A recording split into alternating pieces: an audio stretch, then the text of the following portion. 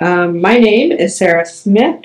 I'm a professor of history at American River College, and today's date is May 23rd, 2023. So let's start off by establishing the basics. Uh, what's your full name? What are your pronouns? And what's your date of birth? My name is Thomas Ma- Antonio Resendes. I identify with he, him, his, and my birthday is May the 11th, 2003. Um, so you're 23. But no, I'm actually 20. 20, 20, I did math. and you just had a birthday. Happy birthday. Thank you. Very belated birthday. Um, okay, so tell me a little about yourself. Uh, what are your interests and hobbies? What do you like to do? My interests, well, I like to watch Mexican movies of, of the golden era of Mexico. Uh, I have a good, I have a very well-rounded knowledge of Mexican history and also a bit of Ameri- Mexican-American history and other history subjects as well regarding this country. I like to build with Legos when I can, when I have the time to. I like to speak, talk with my friends when I can, and just relax and be at home. Not that much.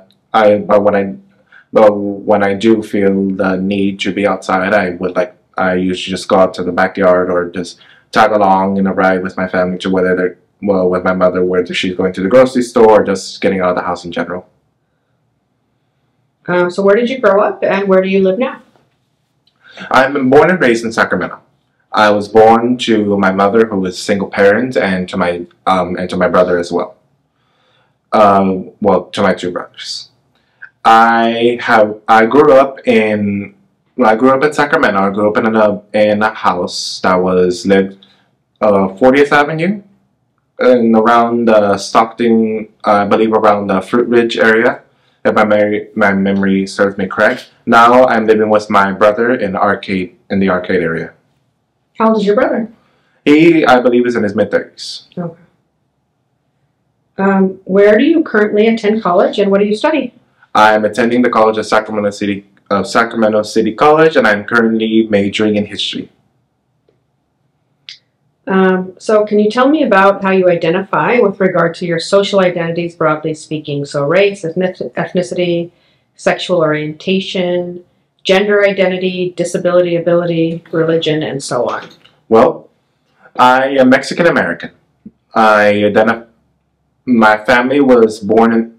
My mother is also Mexican American as well. My both of my grandparents are from my, are from the town of Mercedes, Cameron County, in the Rio Grande in the Rio, Rio Grande Valley of Texas.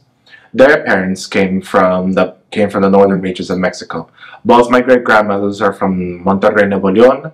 My grandmother's mother was from Ciudad Victoria, and my grand and my grandfather's father, my great grandfather, he was born on a ranch in the town of in the pueblo of San Marcos in Tamaulipas.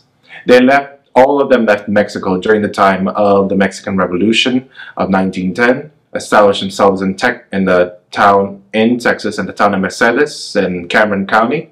They met each other working in the fields, and they met. And once my grandparents were born, both my grandfather and grandmother being born in born in 30, 1932 and 35, they fought, they grew up together fought, and grew up during the Depression era. More grew up in the Depression era. My grand after my grandfather became orphaned of his mother, and his father became um, a single parent. My grandmother's mother uh, looked out for my grandfather and his father, so that way they would be all right. And they grew up, as I said, they grew up together, and eventually they became from childhood sweethearts. They wed, they did wed young, and they together they had their family. And with my cousins, my grandfather's eldest siblings, they followed up. They they went with him following the crops, and until they established themselves here around in California in the town of King City, around, if I'm correct, maybe 53 or 54 my grandfather told my grandmother that he wanted to establish himself, he wanted to set roots down here so that way his children could have a better chance of an education than the one that he did. Both of them, being the second eldest siblings, left the fields, well, had to leave school to work in the fields to help their parents earn money to feed the, the younger siblings.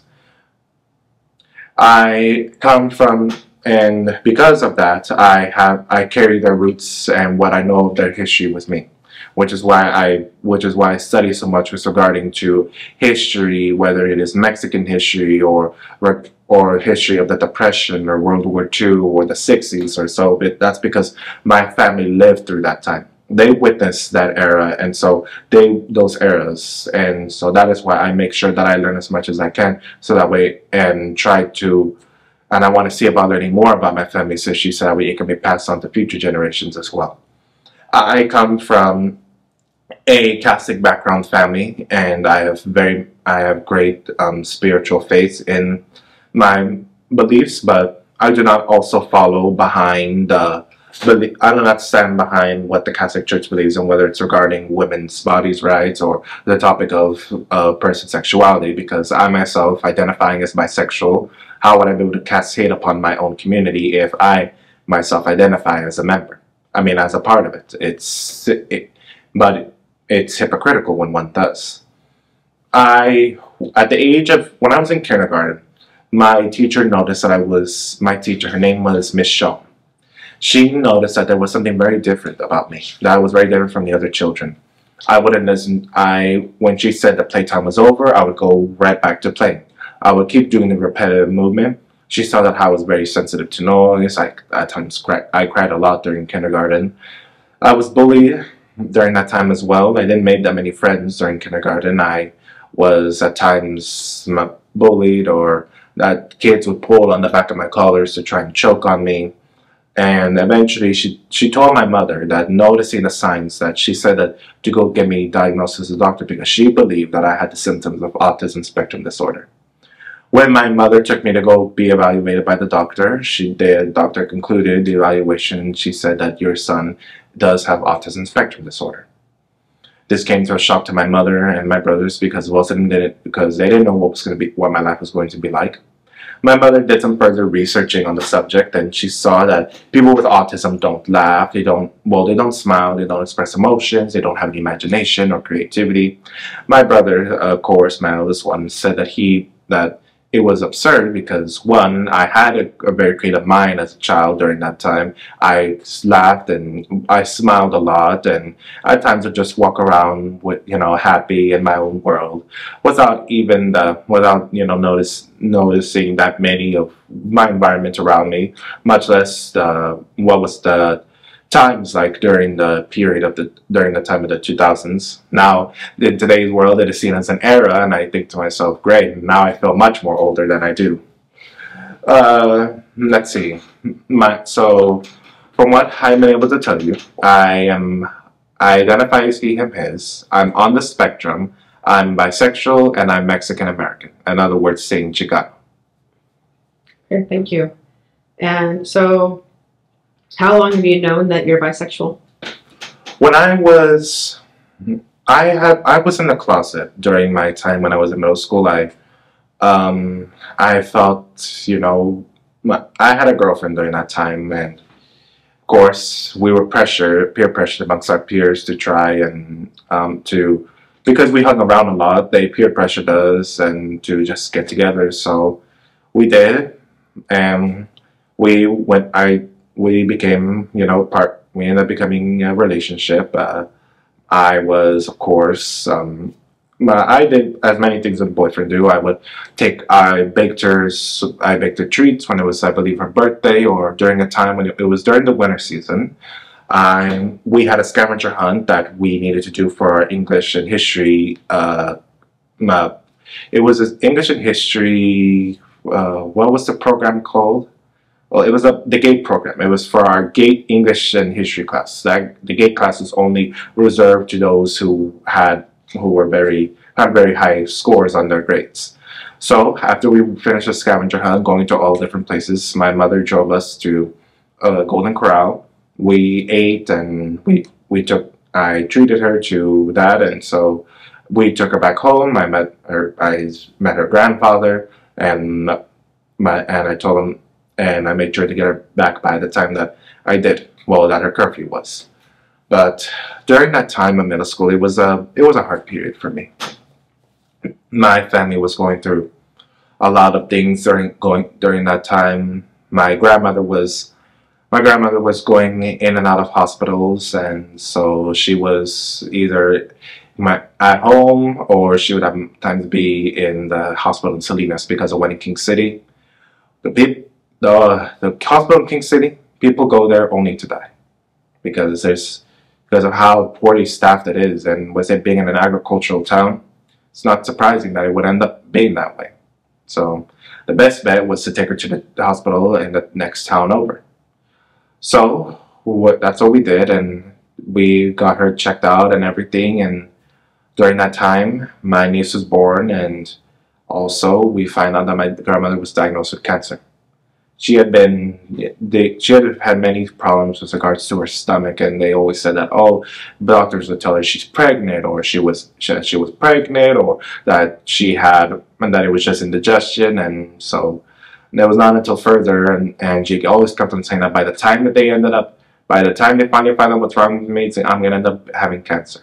Because she had lost her mother and great her mother and her sister my aunt my great aunt to can to lung cancer, both of them. But now, um, but so that was happening during my middle my middle school time, and I the feelings kept festering, thinking that oh, it's probably just a phase. Even with my you know, I at times um, with how I felt about guys, um, whether it was my, when when that I felt about guys during that time, and Been and but by the time I got here, I by the time I got to the college, it was my first year here, and I was taking the hit my English class, and I was taking it with this one. There's this one classmate that stood out to me, and his name was um, his name was Raul um, Raul Sanchez, and he um, in my English class he uh, told me that don't go to college because I because we all went around during um, that class asked because the teacher asked us what is your purpose for being here in college? What is it? And I said the purpose for being here in college is that I'm the youngest sibling. I am the youngest of three boys. I'm the first of my and also of the first generation of grandchildren in my family to have graduated from high school and grad and also going to college and they said that it was, and after I shared with that, he stood, he stood behind, well, he stayed back to talk to me, and he said that, don't go to college only for your, only for your family. Go to it for, you should go to college for yourself because you're the only one who's taking these tests. You're the only one that's studying. You're the only one that's doing the work. He's told me that when he called his mom in the morning, she was crying because she's because her youngest son was going to be a college student again. From there, we talked a little bit more. I, I start after that. I had a feeling in my stomach that I never felt before. I thought it probably might have been indigestion or something, but it wasn't. And at times, he would come and speak to me after class, and we would, of course, um, we would of course talk amongst us we would talk a lot and we eventually traded numbers and I started to develop feelings for Raul. He was very kind to me. I every time I looked in his direction, he would smile at me and I'd smile back and I kind of had some sort of a I had a crush on him and we talked a lot with each other. Well, we talked somewhat with each other and we uh, I found I said that he was we both were the youngest siblings, so we had something in common. He was, we were both called Güero when we were younger because when I was a baby, I had very, I had very white skin and I had black hair. Of course, I had my black hair, but it was straight back then. Now it's curly. And when I had, um, and after I met, and of course, I started to develop feelings, and my mother could see it as well, and well, she she noticed it somewhat, yes. And then I was on a Zoom call with him when we were trying to finish up an assignment uh, for our, for our English class. And we thought that the due date was changed to later, but it wasn't. So me and him had to finish it up and wrap it and get it together. And then I asked him like, "Oh, I noticed that he had a company in his room, and he he said, "Oh," and I said, "Oh, who is that?" And he, and he said it was my girlfriend. So I ended up finding out that he was he ended up telling me that I was his girlfriend, and they'd been together for ten years, and I had felt I had to go. I ended up going numb afterwards, and I thought I'm not gonna wait around for him to break up with her. Nor am I gonna try to ruin his happiness either, because he said that they've been together since 2015 and they were very happy. I was at the time 18, and he was, I believe, I and I believe he was 29 or so. So it it wasn't gonna work out. It wasn't gonna be like one of those like it wasn't gonna be like the show Heartstopper where Nick and Charlie, where Charlie ends up with uh, Nick, where Nick ends up starting to develop feelings for Charlie while he's still in the closet. It wasn't gonna be like one of those books.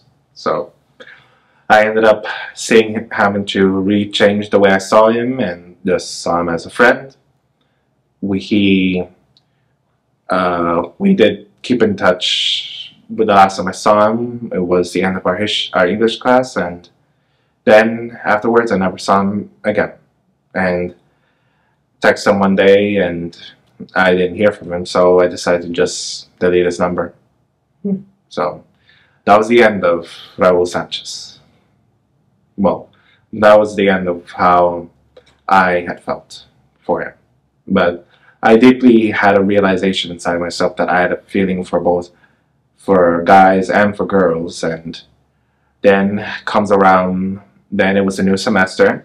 It was the spring I believe and I was chasing after uh, three guys. The second one was second one was was a guy named Javier.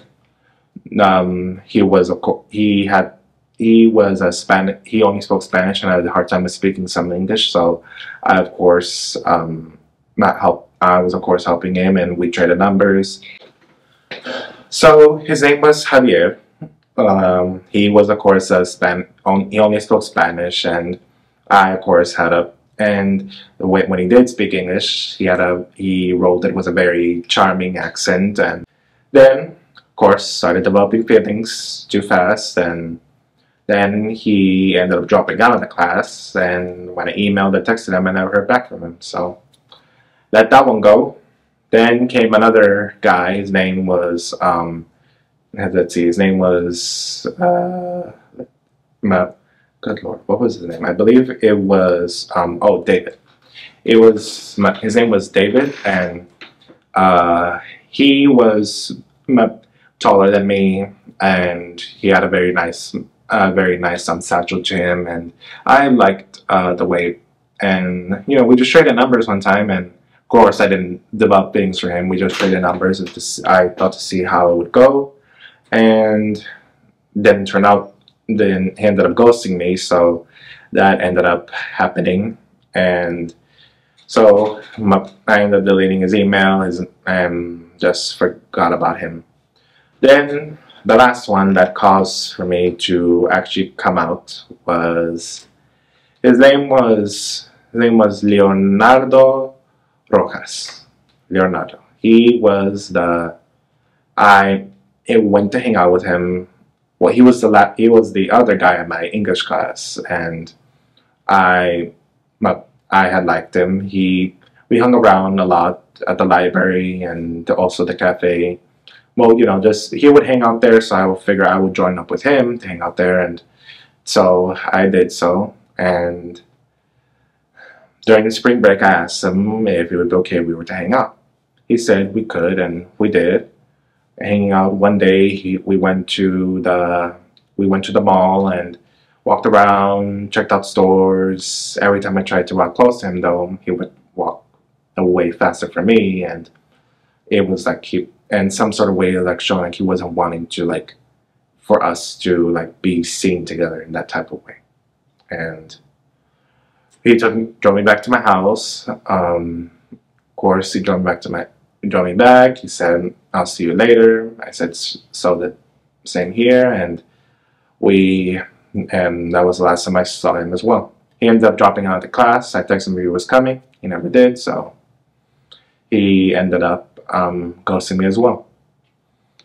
When during that time, I had reconnected with an old friend from middle school. Her name was Miriam, and Miriam was uh, um, we she had originally hung out with this with the group of friends that I had during middle school. The both of them that group for which caused me to have anxiety and trying to like I was trying I was a peacekeeper of the friend group. So I was trying to get everyone to, you know, get along together and sing kumbaya, but then fortunately that was a waste of time and effort. So and when they told me that they were angry at all of each other, I said, Oh what? And I said, That's the way you all feel, then pues que le vaya bien. I hope you go, hope it all goes well.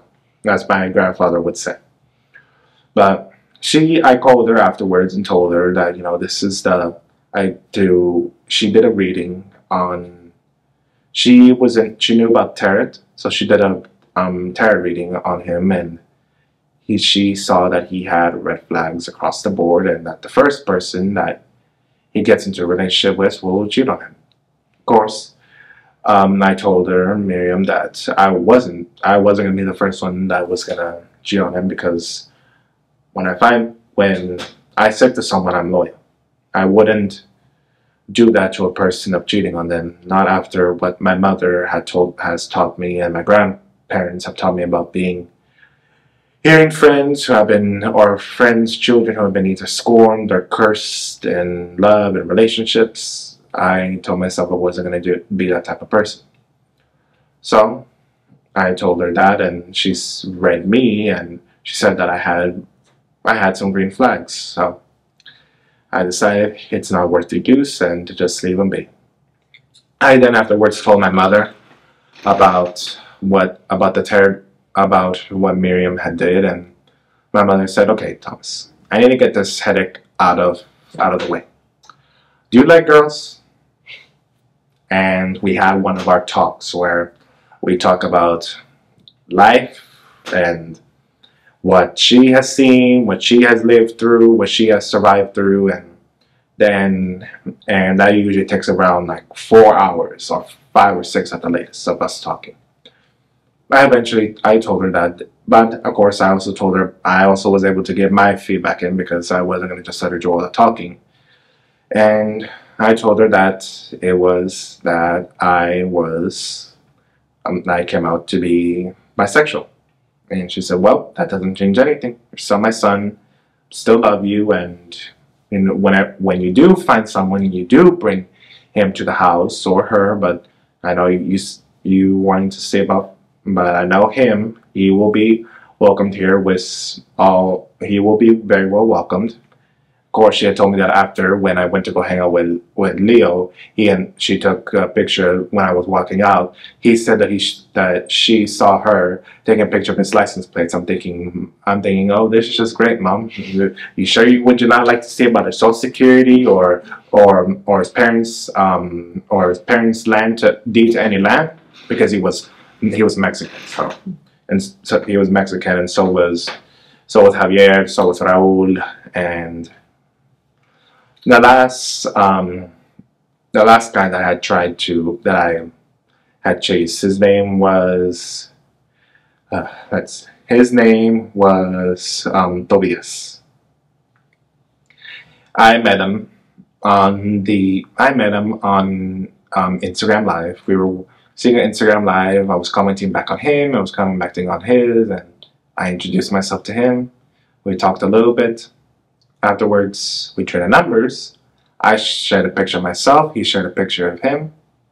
And we, so we both saw each other. But afterwards, um, he ended up ghosting me or forgetting that my messages were there. I left a voicemail sounding immediately desperate. And it was something that I it was something that I still at times cringe to myself about, and I ended up letting him go.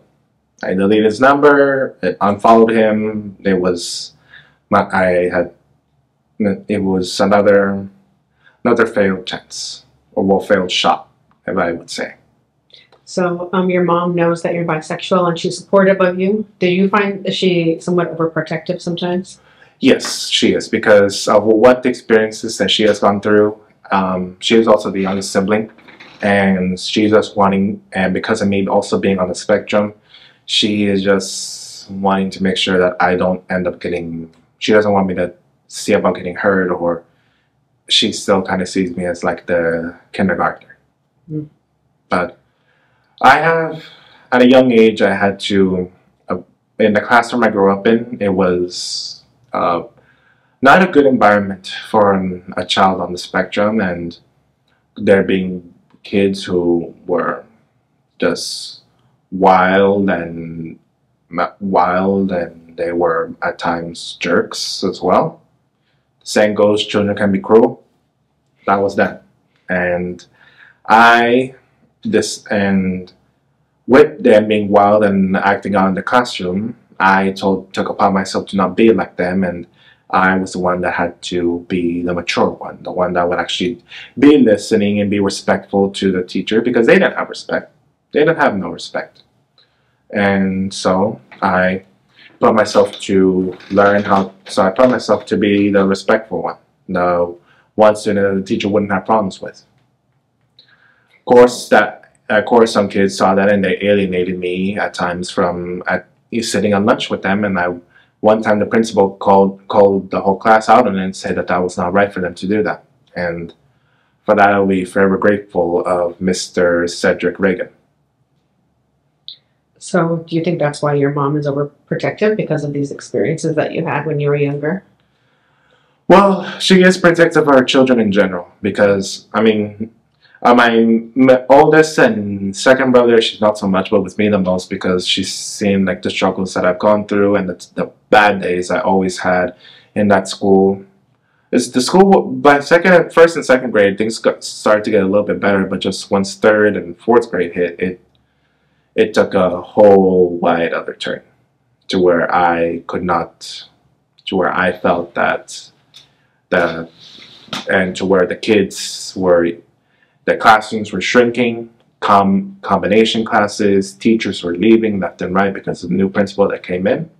The new principal that came in, she um, she would just not even discipline the kids or like tell or call them out on what they're on the crap they were pulling. She would just say, "Okay, just go do your job and go back to class." That was all she did, and but so she didn't have like the she didn't have the authority to at least help to tell the student that look, you're supposed to come, you come to class, you're supposed, you come to learn. You're not, you don't come to act a fool and be and be causing arguments among your peers or even getting into fights at the latest.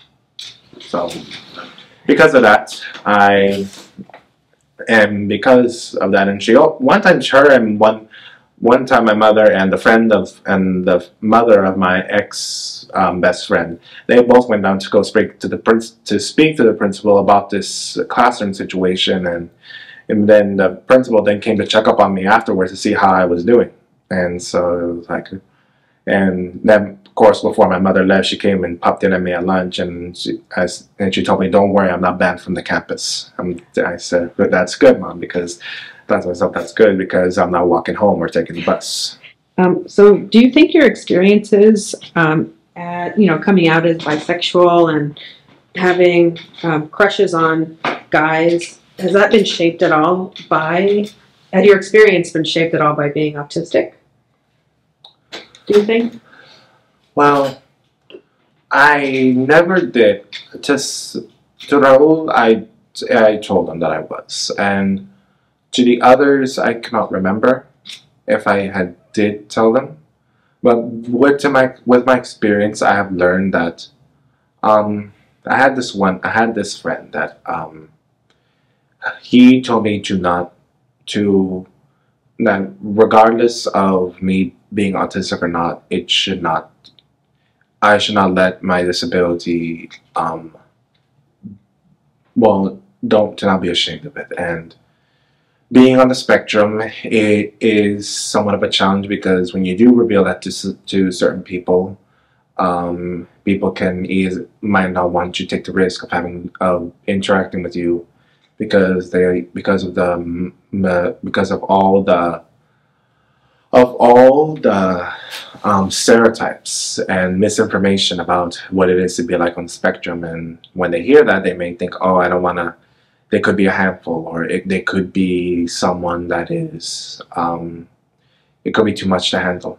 And i have unfortunately have lost some friends from that. Well not from that but from certain experiences. Recently lost one who was a major who i believe was a major part of my um, of uh, my life. Um, we were friends for we were almost going to be friends for a year and we ended up um, things were said. Well i let my word i did not think twice before i spoke and i ended up losing him. And it's been tough.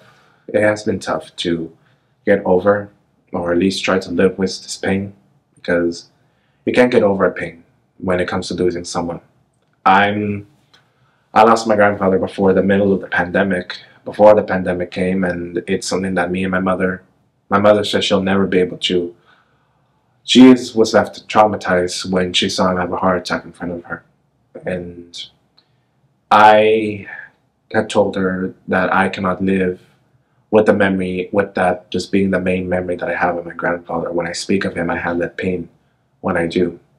I'd rather speak with him when when i'm when i speak of him i rather when i do it makes me feel happy and feel and not feel sad or feel like i'm on the urge of crying.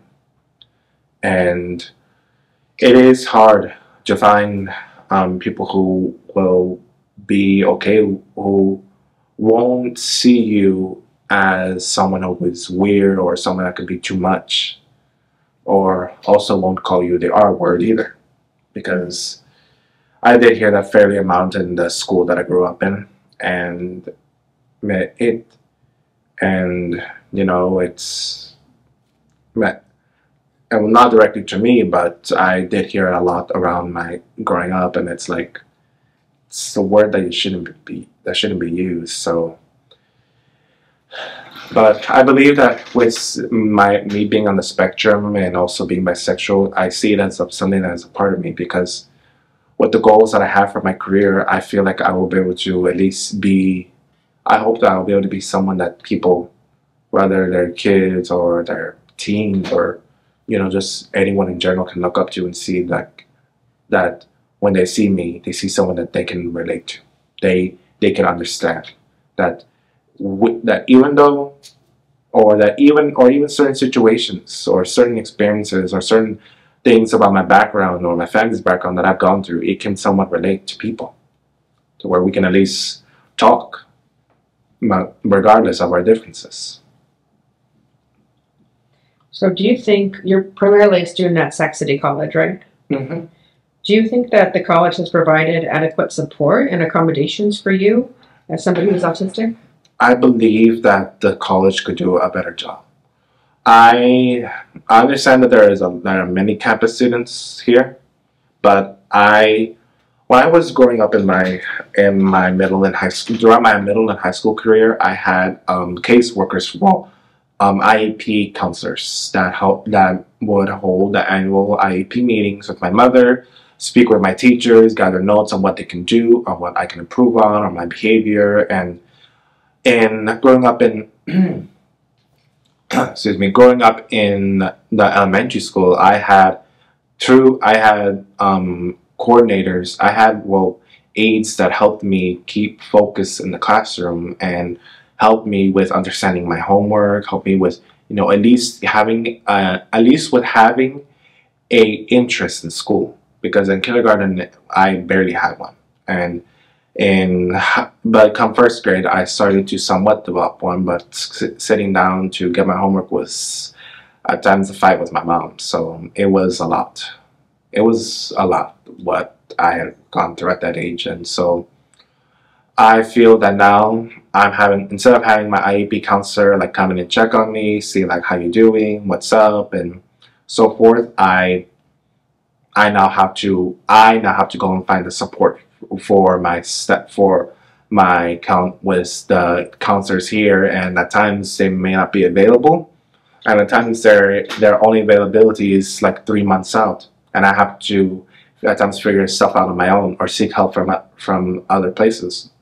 That's why I'm very grateful for the Raza Center and how they've been able to help me. The main counselor, um, the main the main student counselor, she has been the, one of the amazing people that has been able to help me, like give me help to where the Raza Center has made me feel like it's my second plate, my second home, to where I can be able to go and be there and just be myself and I have to worry about responsibilities or what needs to be done.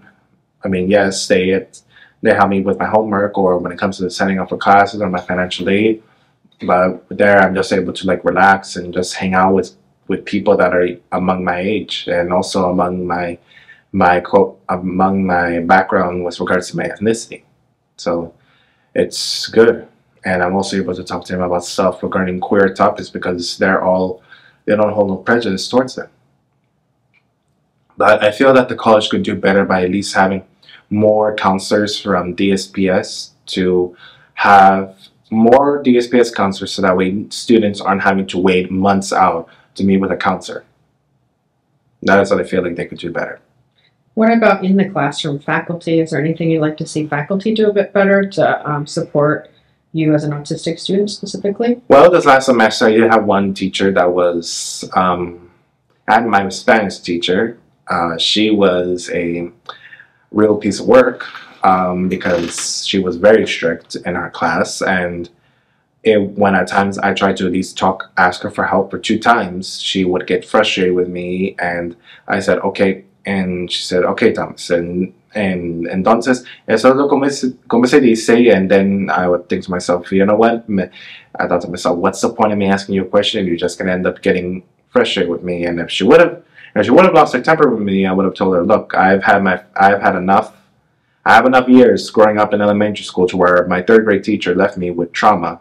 Had left me with trauma when, um, for yelling at me and leaving me emotionally hurt and mentally hurt and and also growing up in the elementary school that I did grow up in where I had to always be on the defense or always have my guard up I'm not going to have it continue in my college classroom. I would have told her, I'm an adult, so are you, and I've give, I've done, I believe I've done my best to give you my respect.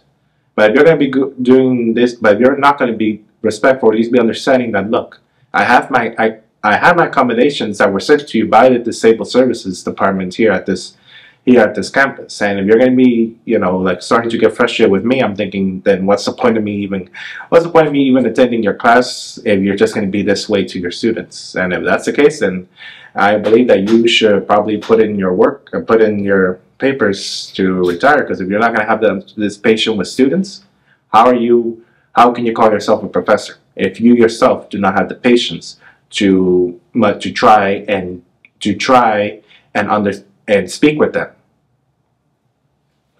So, do you feel like a faculty could use more training on how to serve, you know, autistic students, definitely disabled students? Yeah. You know, regardless of being on a spectrum, um, regardless whether it is being on the spectrum or with ADD or ADHD, those types of disabilities, I believe that they that other student, I believe that teachers and well, the college faculty could use a reflection in in how to at least try to be a little bit more patient or a little bit understanding with regards to people who are on the spectrum. I think it's kind of it's rare for faculty to have any training at all in how to, you know, how to teach neurodivergent students, disabled students more generally. So it's often up to faculty individually to figure that out. So exactly, there probably should be more institutional support, don't you think? That's another thing as well. Yeah. So, do you feel empowered in all of your identities as Mexican American, as autistic, as now bisexual? How do you feel in your identities? Before, when I was a younger, when I was young, I didn't speak that much Spanish. Mm-hmm. I, so it was a hard time to communicate with my grandparents, who were native Spanish, who were native Spanish speakers. So after I, my grandmother passed away in freshman year of high school to a stroke, even though she had um, been diagnosed with stage 4 liver cancer. We never told her how long she had but and we gave her this tea that helped her, and the doctor predicted six months. We knew she lived. She was able to live a year. She had her appetite come back to her. She ate Thanksgiving dinner amongst all amongst everyone, and come Christmas time, she was making tamales. It's one of our traditions that we do in our family. To is one of the traditions in our family is to make tamales, and she was right there making them along with us. And after, and after she had passed away, I put myself to learn how to speak Spanish because my grandpa was left alone in the house in King City. So I made sure to put myself to learn Spanish by watching videos, repeating what they were saying, what listening to music, and it was my grandfather who introduced me to Mexican movies. We would sit down. We he started showing me the movies of of this one ranchera singer that I love. So his name was Antonio Aguilar. Well, he was. His name was Antonio Aguilar. He passed away, I believe, around 2000 or so. And his wife and and his wife Flor Silvestre, who passed away in 2021 or 22. But I watched their movies, and they and most of Antonio Aguilar's movies were regarding um, people from the revolution and, and, not the people that not from the Mexican Revolution, but not the people that you see in the in the Amer in the American uh, history books that are issued out to the to the elementary students or the to the elementary schools or the high schools or middle schools even no. The he played the people that have he played the people that um, corridos are made about and not the corridos that now you hear days are sung by Peso Pluma or are sung by some guy who sounds like a crow being put to a meat grinder. Then you hear a bunch of cl clarinets just blasting away like a like if they were like train whistles that have their um, that are stuffed up. No, the the corridos that are at least sung that are sung by mariachi and the and he played those people in the movies. I could name one right off the bat, Valentin de la Sierra or Domingo Corrales or even the El Ojo de Vidrio, the glass eye. Um, so he, so he played those he played those men in during that time and he well from that era and he made those movies and showed and showed the people of Mexico. Oh, and me when I sat down to this with my grandfather, it was it was our thing to sit down and watch those movies of him. But after my grandfather passed away, um, I didn't watch that much of the movies of Antonio Aguilar because we would watch them after a weekend on the weekends when after we would after either doing either helping do the yard because he was the one because my grandpa grandfather who had a green thumb big thumb could grow anything and he um, he taught me how to cut grass he taught me how to pull weeds from to and stuff like that so he taught me my, how, a lot about my taking care of plants and how and how to mow a lawn the correct way. You know, I always had a struggle with it because I couldn't understand them. But now that I put myself to watch those movies with him and seeing those like the charros and the haciendas, and but also seeing the struggle that the poor people, the peones, the peons suffered through, I it gave me, you know, it.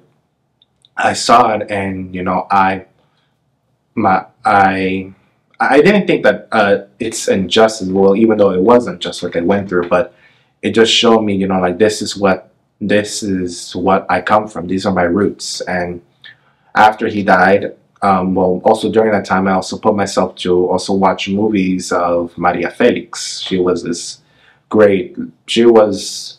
Imagine Marilyn Monroe and Elizabeth Taylor molded into one, but with more of a strong attitude well, more of a strong-willed attitude and ironhead is what I can best put it at. That is who she was. And she, like, all her movies, she either played either the femme fatale, the gold digger, or even that. She even did some movies of the Mexican Revolution. Her major one was called Juana Gallo, where she played a woman um, named. Um, she played a woman named Juana Gallo, Jane Rooster, and who led an army of men against uh, the, gov the Mexican government, the Federales, and to make a movie about a woman and you know, an empower, a moving a movie empowering of an empowering woman commanded the forces of men, and during that time with the men having their machista in them, it, and for her to having and for her having to play a woman who did exist and led uh, many charges and successful battles against the against the soldiers of the of Huerta's army, it shows that it oh, represents you know the people. It represents Mexico in that even women were able to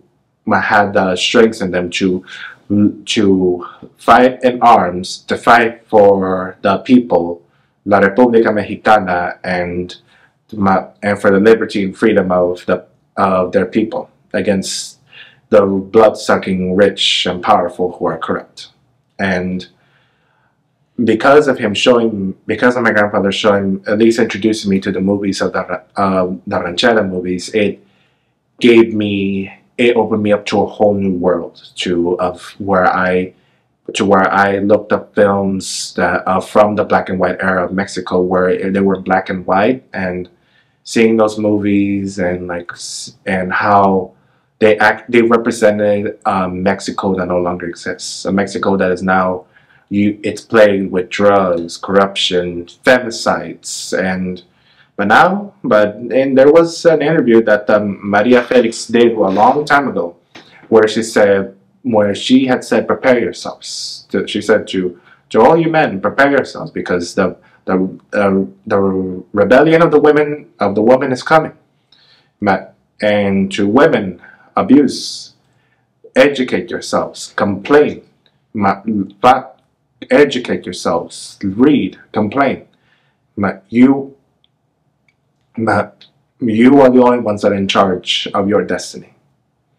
So, and because of her saying that, now we're seeing a change in Mexico to where people are now fighting for, to where women are now protesting to the femicides and saying where is, and doing things, whether establishing networks or creating or creating hot um, lifelines or um, apps as well to make sure that they know to help uh, make sure that their daughters or cousins or mothers and and aunts don't end up going missing or end up being found, but they're found life without life, and and some in some cases that does that is what happens to them, and all they want to do is just find their is find their daughters, their nieces, so or any women of their family and kin, and just give them a proper a proper burial of resting, and because of that because of that sad reality that now exists in Mexico, I my, my, I look at these films and see that this is the Mexico that those films of that era, of those songs of Jorge Negrete singing Mexico lindo y querido are unfortunately of the past and no longer exists. Because now we see a Mexico that um, still has its corruption, still has its abuse, still has its missing women and or that are being killed and that are being killed and are being um, and are not being able to be found. That's the Mexico that unfortunately exists. And with regards to me being on the spectrum, I believe that my I never I didn't have a good understanding of what it was like to be on the spectrum. I just I just call I just call myself autistic, but until I further grew up and further learned about it, I realized that this is something that does that I do actually I learned more about my condition. I don't see it as a disease. I don't see it as a sickness. I don't yes, I have my struggles with with my symptom with the symptoms that come from my from my disability, but I don't suffer from it. And there are people that that are basing my my condition off of vaccinations or they're basing it off of old of uh, Puritan ideology of behind uh, Puritan ideology of the old, of old dominionism that says that my condition comes from the devil. When actually it doesn't. And even in my culture, even in my culture, they they uh, well, they see a child on the spectrum. They say that oh, the el niño es travieso or tan quieto or or is something like that. And where in fact it is, they're not. They have something that is they have a condition that causes them to retain information differently, and cause them to look and it causes you it causes them to look at the world through a different view because that is what my autism is is because you retain information differently but you also see the world and you analyze things a lot more differently than anyone else can Can I, um, I kind of, is it okay if I interrupt? I want to ask you about your class status, um, or if you wanted to say anything else before moving to that point, but I haven't asked you about that at all yet. so but um well, with regards to my class status i i mean i don't feel like i'm ever been stepped on by someone who was rich. At times i though at times i have felt jealous. Well i did at times feel pea green jealous one time of my boss's son um because i you know i told my he doesn't help his father in his business. He doesn't help his father in his business and my, and one time he did come to help we told him to go throw away the recyc- the cardboard. He broke it down left it on the cart but never threw it away. Me and my friend me and my friend uh, Marisol we saw that and I and we thought what? And we thought what the hell? It's like dude you it's like you had something so important to where you left this for us to finish. But that's the way he was raised. And I of course he has never pulled out the fact of his when I did work with him that one time washing dishes he never pulled out that one fact of him saying that my, my dad's your boss and you gotta listen to me because and that I would have replied so you know what son? Your dad signs my check but he doesn't own he doesn't own me. I my, am independent. I don't have a property tag placed on me anywhere. So I'm and your dad, of all the dishwashers that have come in and out of this restaurant, I've been the only one that's lasted longer than any of them. And I've made sure that when dishes are clean, they come out clean.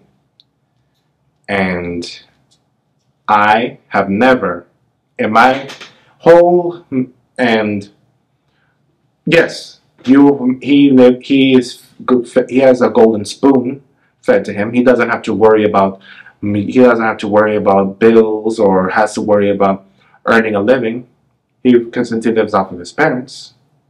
Of course, he never pointed that out. He luckily he I'm glad that he never you know used his class rank on me, but it's just I did feel insecure because of how he has so much time to what to go to school and also dedicate him, his time to the gym since he likes it's obvious he has a better physique than me. I uh, did feel insecure about that and i told and my friend marisol she told me we worked together in the kitchen she said don't ever feel insecure about that thomas. It's my you should not feel insecure about him because he is just a mama's boy. He's mama's boy and he lives off of his mom's money. You you at least are independent. You he doesn't have to worry about you have more responsibilities than him, but also look at what you have been able to complete. Passing your statistics class and being autistic, that is a major accomplishment for you. So don't you feel insecure just because he's over here, just because of him, well, uh, because of what he looks like. He isn't he isn't hot shit. That's what she told me. So how many you work as a dishwasher at a restaurant? How many hours a week do you work? Well, I work part time on the weekends from eight to three. Um, I work. I've been there for almost two years now, and we have had. Um, I have these last two. There was these two last dishwashers that really put me through the ring. They were, both their names were Judas and Moses, and both of them, the mo- Judith the most persecuted me to Kingdom Come. She, I told her that I tried to best explain to her in Spanish that I have autism and that I comes from sensitivity and noise because she would throw the dishes into the sink the metal containers or plates or metal plates, she would throw them into the sink. She didn't care.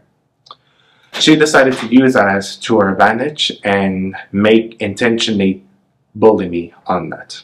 And her brother would follow along with her. Kitchen manager stuck up for them the most. Kitchen manager stuck up for them the most, and he was over here. And my, of course, me and my friend Marisol, we never, it always, we never would, it wouldn't surprise us if there, if there would have been more than than employees going on, than an employee status going on between the two of them. It wouldn't have surprised me because her and her brother would ask me one time about my religion. Then her brother ends up wailing into my religion, disrespecting it, and he said, and him being Jehovah Witness. I say, wait a minute, wait a minute. I'm not crapping on your religion, so don't come crapping on mine. So I told him that. Then one time they asked me if I was single or had a girlfriend. I said no, and then they asked me if I was from the other world. The other world meaning if I was gay.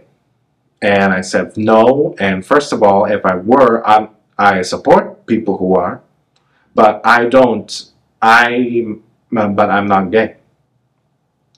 I never did Were you actually? Did you know that you were bisexual at the time? That you said you weren't gay. I was I it was during it was after I had come out. It was like already a good while after I had come out. But at my work, I am not open. Up, I'm only open to certain people about my sexuality.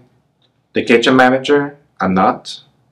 To most of the kitchen staff, I'm not, because I know that they'll either use my sexuality as a way to discriminate upon me, or they will not want to work with me because the cook, the line cook, she has a old Dominion ideology and old school way of thinking to where she might want me to not t- give things to her from my hand.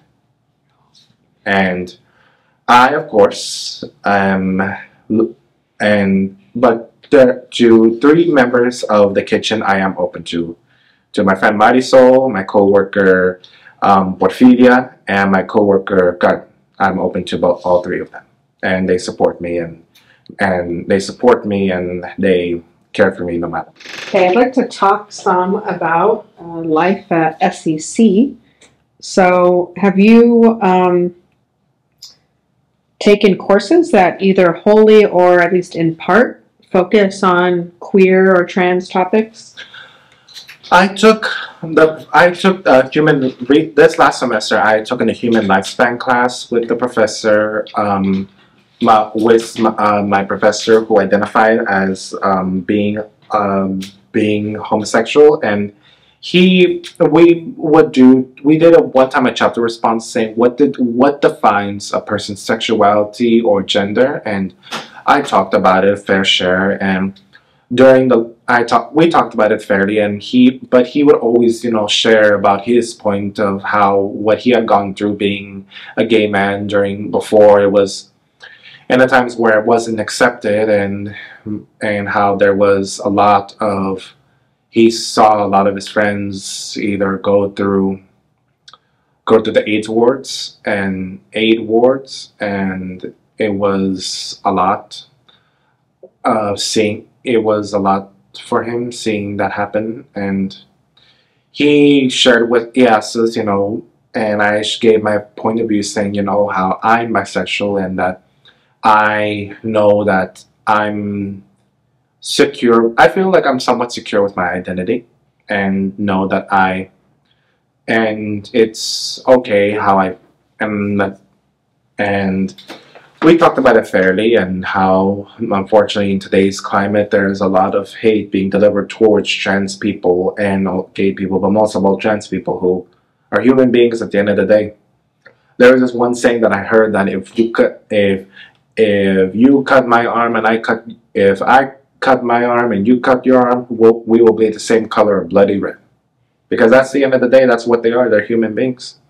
They get up, they go to work, they get up, they get dressed just like the rest of us. They either go to work, go to school, or or just try to survive throughout the day.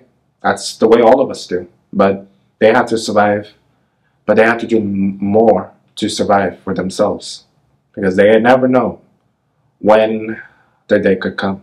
That's an unfortunate, sad reality that we live in.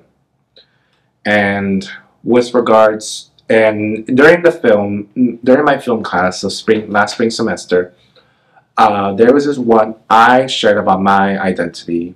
Well, I got a chance to share a lot about my uh, my identity since I identify being Mexican American, being on the spectrum, and being bisexual. When we talk about those those three film groups, well, those groups represented on film, I was able to give my point of view on all on all three of them, and my, when I shared about my sexual orientation, I shared that you know I how what I went through with chasing after those guys and what I and there was this one at one point I said that look all I ask if you can't understand me if you can't if you can't understand me my nuts. If you can't understand me or if you can't accept the way I live that's fine but all I ask is you don't hurt me. That's all I ask. Because there are some people who some people who are very stuck in their ways, very stuck with their ideology to where they to where people like me aren't accepted and we're, and we're seen as a devil.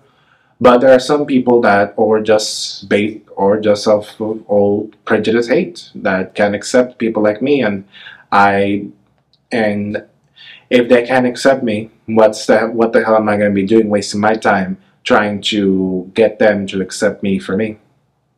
It's at the end of the day, it's a waste of time. As long as I'm secure with my identity, as long as I accept who I am, that's all that should matter. Besides, there's people that don't even accept Mexican people who, and we exist. This whole hell, look at the states that we that are part of this country. They were all territories a part of Mexico before the uh, before the War of 1837, or I don't think it was 1837, but it was around the 1800s that the war broke out between the between the U.S. and Mexico. 18, this 1846. Yeah, 1846 is when the war broke out. So when they, the war broke out in 1846, this is all. This California was one of the territories that was a part of Mexico. So, and yet there's some people who have the ideology that you know Mexicans shouldn't exist, but yet we do. We live in cities we live in towns. We we are we are universal people, and we will exist till the end of our day. Have you uh, have you been in any classes that actually talk about uh, queer Mexican Americans or queer Latinx people? We did. Men- there was a we have at times met, there was at times mentioned, uh, well, I at times mentioned Chavela Vargas, who was a le- open les- who was a lesbian ranchera singer, one of the very first one, and we at times talked about either Frida Kahlo.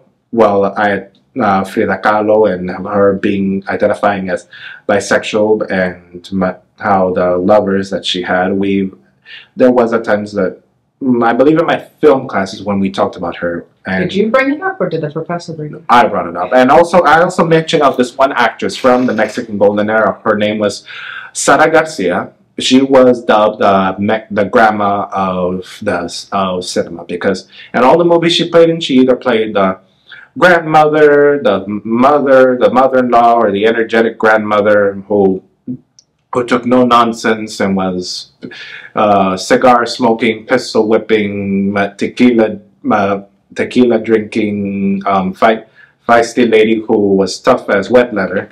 That's she played that grandmother in the movie Los Tres Garcia, the Three Garcias, and I mentioned to my film to the film professor who came to speak to us, um, who was a faculty member in the, sta- uh, the staff I told them that about Miss Garcia and how she had a closet. She was actually a lesbian and had a lover named Rosario. And she is. If you were to go to the Mexican aisles, if you were to go to Lati, well, to Latina aisles in your supermarket and you see the grandma on the hot chocolate, that is who she was and there was a myth going on in the in the Sinaloa that she had taken her teeth out to get to she had took her teeth out and broke her knee just to get the role of grandmothers. But those those rumors have been either have been either seen as you know observed or ignored or like even there was the one actress that helped her you know get started in the cinema. Her name was Emma Roldan. She said an actress doesn't have age. So.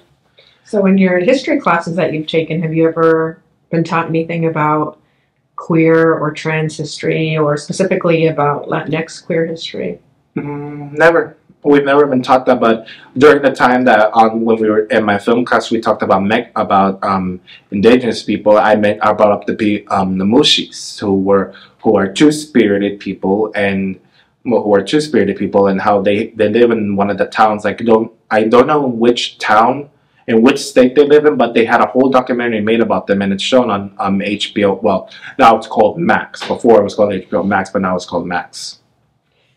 So you're not the first student to say when queer topics are brought up in the class, I'm the one. I felt, or they students have felt like they have had to be in a place to teach other people about like what it means to be queer, what it means to be trans, or just about queerness in general in our society. Yeah, and at times also mentioning history that is not even that, and also bringing up history topics that are not even mentioned in our books. I one time uh, this last the last history tech the last history class that I took with my um, professor. Um, I mentioned about this town um, called El Nacimiento de los Negros and how it was a town that was established by slaves who escaped to Mexico. They, they were escaped slaves from Texas that went to Mexico because in 1821 Mexico won the independence from Spain, abolished slavery, but then came the establishment of the, of the hacienda system. But they came to Mexico to search for freedom. When the fugitive slave law was passed, I told uh, Mexico refused to sign it because they believed in, that when they stepped on Mexican soil, they had the right to freedom, and independence, and the right to freedom, independence, and liberty. And many, and of course, that town there is not that much of an Afro-Mexican population as there was, but now in the towns of Oaxaca and Guerrero, that's where my coworker Porfiria, she's from. She uh, said uh, she is from that town, and if you were to look at her, you can see that she has the ancestry mix of of uh, the ancestry mix of Afro Mexican within her. And when I and when I told my teacher about this town, I also mentioned that they're they're the same town that also celebrates Juneteenth.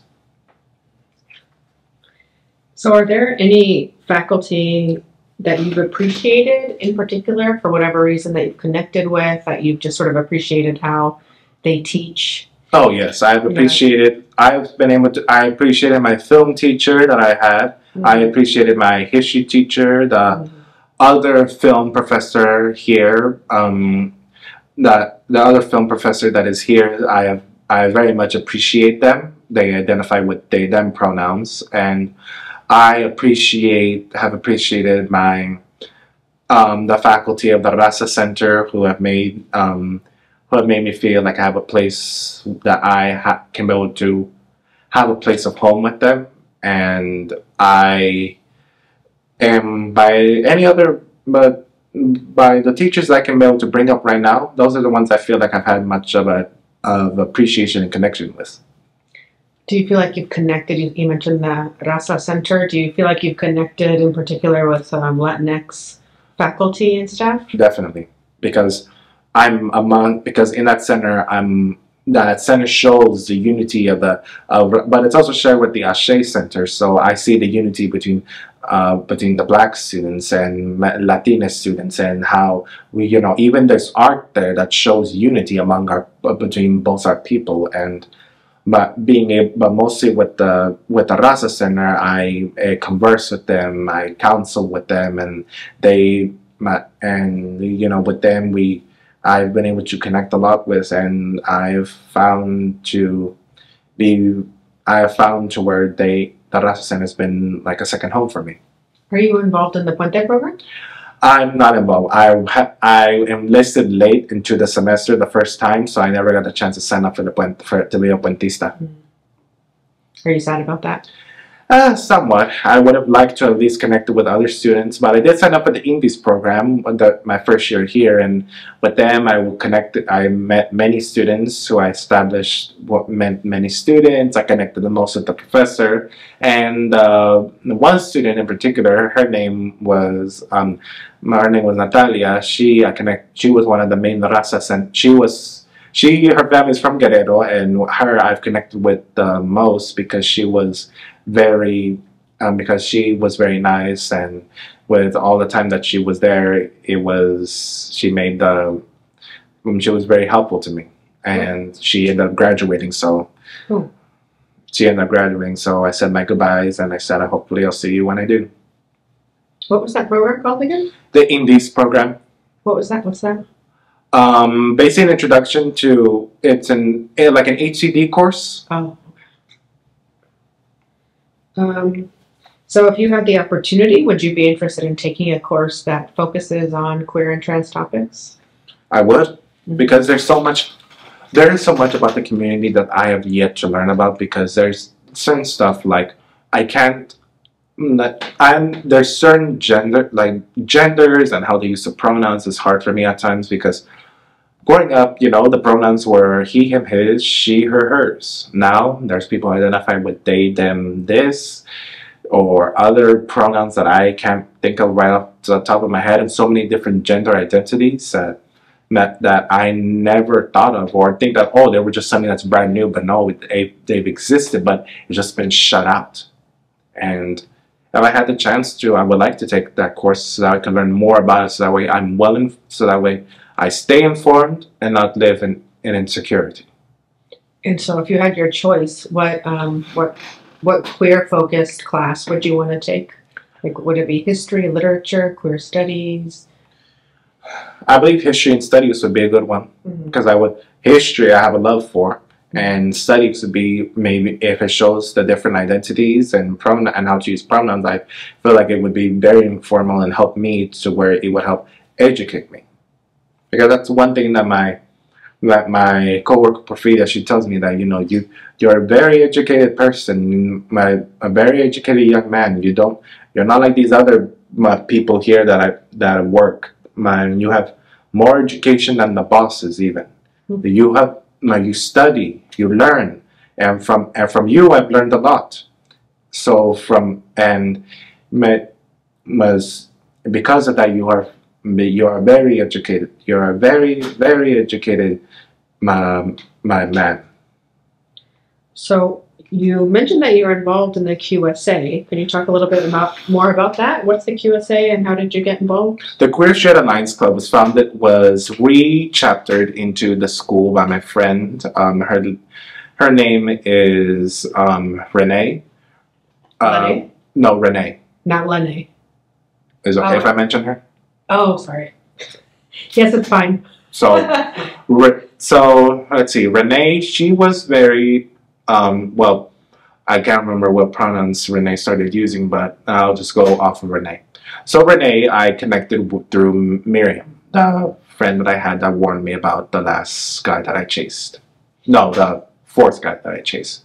So with Renee, I learned um, she uh, Renee told me that they, that they were wanting to restart the QSA with the Queer Shit Alliance Club. That is a club that helps that is that is offered to people who identify with the LGBTQIA plus, and also a club to where any people, whether they're allies or just curious to learn more, to interact with people who are among who are part of the community.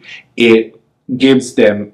It would create a space to where they people queer or trans or or just a part of the community can be able to interact with one another, interact with one another, converse, talk about whether what they're what they're going through or what experiences they have gone through or even their coming out stories as well, which at times can either be heartfelt and- and at times can either can either be heartfelt and end with good endings or be unfortunately sad and end with bad endings. But that is the meaning of the QSA to try and establish a sense of unity, a sense of of of community, a sense of uh, a sense of community and un- and unity among the among students to where they don't to where they can be able to allow themselves they can allow themselves to be free and not have to fear about the prejudices that they have that they face in outside of this campus or even at times within this campus, but it's never seen or it's never talked about. And the role that I played in the QSA is I helped my friend Renee actually restart the club. I helped uh, Renee start the club, and with Renee having not a good uh, time, not being very um, social, well, not so much social, but very open to public speaking, I myself, I took it upon myself to go up to the mic, spoke in English and in Spanish, and talked about the QSA, went around passing out flyers, and it was something that I enjoyed. But unfortunately, during my, this last semester, I was so busy. I took I was taking my Spanish class and taking taking my Spanish class, and also um, busy with assignments and how the semester was a wild roller coaster for me. I didn't get that much chance to be a part of the QSA. I was just I was unfortunately didn't get that much time to. I did not get to spend that much time with um, the club, but it is, but I'm very glad that it is now rechartered and that it is, hopefully it will grow to where it will, even after my friend graduates, it will still be a part, it will still be a part of this campus and hopefully it will be left in good hands to where it will, to where this club will be a, some, serve as a haven for students, a part of the community to, to where they can come together and feel a sense of unity instead of division, instead of instead of division or or the feeling to be closeted or not be so expressant of themselves. Is the QSA fairly racially diverse? Yes, it is because there are different. From what I was able to see, we saw, I there was a member who is of Poly, I believe a Polynesian background, uh, Af, um, African American background, um, Caucasian background, and uh, Asian, um, Asian background as well, and me of Mexican American background as well. But like I said, I wasn't able to participate that much in being a part of the club like how I wish. But it does it does have a very unique diversity among it. So, have you had any experiences on campus feeling harassed or discriminated against because of your um, bisexuality or your other identities? I feel like I have not. I feel like I haven't had faced any trouble with my with the staff or with students. No. Is there anything that you can think of um, that the campus could do better to serve queer and trans students, in particular? Maybe, maybe this could be one that could be a little bit taboo, but maybe have a place. Maybe well, I know that the, the LGBTQA plus center has a stand that gives out um, uh, protection for um, intercourse. Maybe, a, maybe if the campus were to establish, uh, I don't know if the clinic has it, but maybe to where they they can get free, to where HIV testing can be given, or STD or HIV testing can be given. Because if they are not able to have access to proper transportation or even have the chance to like or are closeted among their family and if they need to go get tested this campus should probably can the campus clinic can probably serve as a good place to can help those students during and not, and not just during the semester but also but also during the during the break during the off seasons as well because not all, because if they're coming here to take summer classes or just come here or do want to come here, they should have the, they should be given the chance to. So that way they are well aware of their sexual health. They are well aware of what, they are well aware of, of themselves and I feel like that could serve as a good, as some, as a good uh, practice for students here and also show to not also be ashamed of wanting to be responsible for your sexual health. Because what is now with, unfortunately, now with monkeypox, and now in and now with monkeypox existing, it is something that scares me personally because I myself am not sexually active at all, but I know that if I were to have friends that were to catch it, they themselves would be frightened. They'll be scared of what's going to happen to them. And if clinics, if there's at least just a clinic or a nurse here that can help to prevent that or tell them where, or help them, you know, diagnose them on where they are in their sexual health, it could probably it would serve it, that information could help serve them to where they know what steps to take next.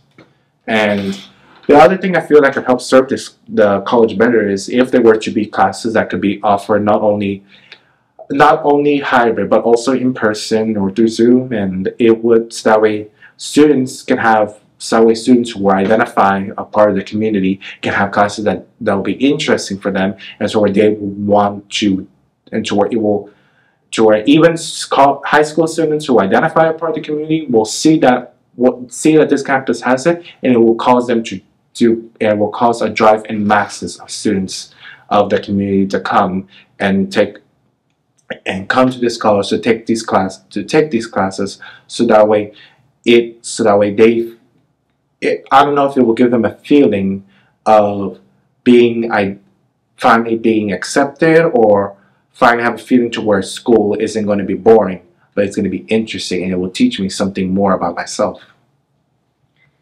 So, um, what excites you? Very general question, but what excites you most about being a college student? what excites me the most of being about of being a college student is the chance of getting a career. I'm like I said before, I'm the first person in my family to have graduated from high school. I'm the first person in my family to have gone to go to college, stay in co- and actually have lasted in college this long. I, you know, doing what my family, other people in my family weren't able to, or get, or had the opportunity to. And just earning my career is something that will help me, and also is something that I look forward to as a college student. Plus, being in a campus, look, go interacting with students, or and also the extra and also the financial aid that is offered to students helps a lot because some of us don't earn a lot to pay bills and working minimum wage. So the so the financial help that is offered here at that is offered here at this campus is one thing that I look forward to because it serves a lot coming from someone who is of the working class. So, do you have any financial stress right now that you think sometimes interferes with your, um, you know, your your status as a student? Currently not, and I don't. And at times I, and if the problems were to come, I wouldn't let it affect my studies because my from here is where I can be able to find the help that I need, whether it's the whether it's emergency grants, whether it's whether it's uh, filling out uh, applications for scholarships, or this is where I can to turn to when I need the help. Somebody who's first generation um, and first generation college student and working class. Do you ever have trouble navigating college and being a college student? At times I do because being either, you know, uh, being on a spectrum, you need to have establishment of a routine, and I at times don't have one, and I get disorganized, and I at times have struggled um, with my classes, but towards the end, I've been able to make up for it, whether it's getting in assignments last minute or ma- talking with my teachers about certain situations. They have been so far been very understandable thanks to the help of ratemyprofessor.com. Um, that has helped me to choose up, excuse me, um, professors that have actually been very helpful. And so I feel that my, but from a struggle, just the need of organization is what I've somewhat struggled with, but I've been, but luckily I've been able to still keep my head afloat and not have the need to drop out of college, which I don't plan to anytime soon. So, anything else at all you want to elaborate on or or mention that you haven't gotten a chance to talk about? We only have a couple more minutes. um, mm, maybe there is one last thing. I don't know if this will serve as any help, but coming from someone who has identified with three minority groups, being Mexican American, being on the spectrum, and being bisexual, you you're gonna face your challenges whether it is in the workplace, whether it's your own personal mental health, and or certain situations, whether losing a friend or going through a, a sudden a change in your environment. It's I know that people, you know, people you hear this on internet or you see these messages, but don't let it's gonna be you're gonna have dark days that you face. I faced mine plenty. And as long as you have the support group of your friends, as long as you have the people that have cared about you and your life, don't take them for granted. If they need help, you help them the best you can. As they have helped you when you needed someone to lean on and talk to with with whether it's whatever that you're facing, make sure that you also count them. Make sure you count them as the important people in your life. And from what I can also say to any people who are young and to any of my fellow young members of the community, don't go chasing for guys who, for anyone who won't give you the two cents of a day because it's not worth it. It's not worth it and it doesn't do anything to help you. As long as you feel that you are accepting of yourself and okay with how you feel, of your mental, uh, whether it's your appearance, whether it's your identity, whether whatever, as long as you feel okay with yourself, that is the, you are okay with yourself and you accept yourself who you are, you and that's all that should matter because you shouldn't let other some random people define you. Don't let random people define you or these people that are in power. Don't let them define you or pre- or launch prejudice prejudiceness upon you. You stand up to them the best you can, and you show them that you have a voice. You know how to use it, and regardless of where where your ethnic background, regardless of your social background, regardless of of your uh, gender or your sexuality, but most of all, in today's country, in today's climate, your sexuality and gender, don't let them be defined or destroyed by someone who doesn't who doesn't have sympathy for for or respect for human life. Don't let them. You are the ones who are, you show them you have a voice. You show them that you know how to use it. Educate yourself, read, and and most of all, stand up for yourself.